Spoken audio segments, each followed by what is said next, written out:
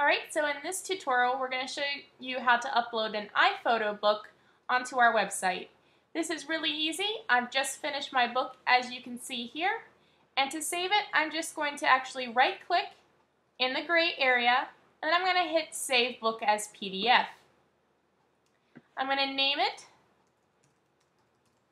and then click Save and make sure you save it to a place where you can find it. I'm just going to go straight to my desktop. Alright, so my book has saved, so I'm just going to minimize my window. And then now I'm on the main page of the site. To upload a PDF, which is what I just saved my iPhoto book as, I'm going to click here. Then I'm just going to name my project.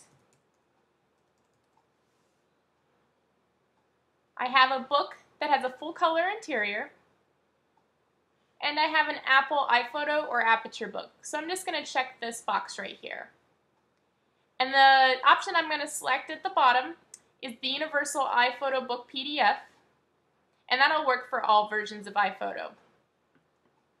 The next thing I need to do is select the interior file. That's really easy. I just click Choose File,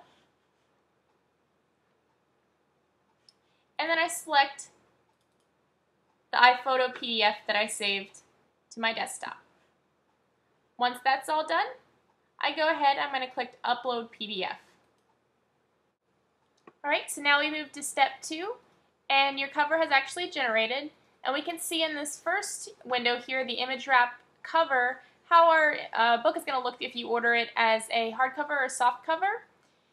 Um, you have the option of doing that, and you want to make sure everything is within the, uh, the line of which book you're ordering. So if you're going to be ordering a hardcover, you want to make sure that everything is in the orange.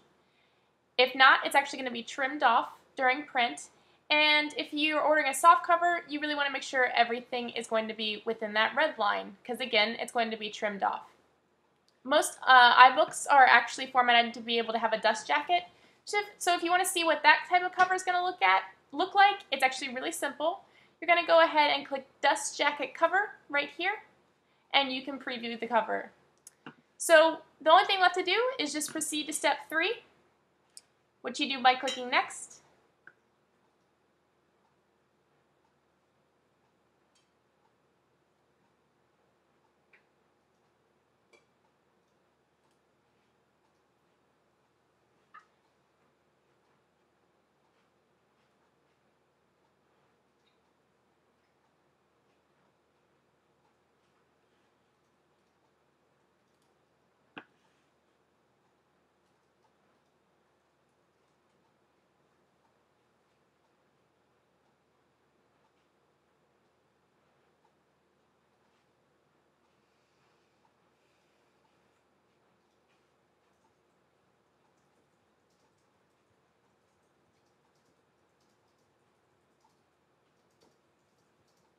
Alright, so now we're at step three, and here's a few things that you can do on this page. Um, you can look through your book through Flip Preview and Layout Preview just to see how your book's going to look. And also, you're going to be able to see what options of books you're going to be able to buy. Um, and once you decide which book you want by just simply checking it or unchecking it, you proceed to buy now, and you can purchase your photo book on the next page and see what your shipping estimate's going to be. Alright, we hope you enjoyed this tutorial and be sure to check out the rest on our YouTube page.